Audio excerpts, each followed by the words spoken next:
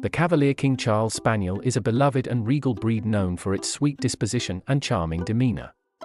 With a silky coat that begs to be touched and soulful eyes that could melt even the hardest of hearts, these dogs are the epitome of beauty and grace. Originally bred as lapdogs for nobility, they continue to exude an air of sophistication and elegance to this day. Despite their royal heritage, they are incredibly affectionate and love nothing more than cuddling up with their humans. Whether out for a leisurely stroll or relaxing at home, the Cavalier King Charles Spaniel is the perfect companion for those who seek the perfect mix of charm, companionship, and class.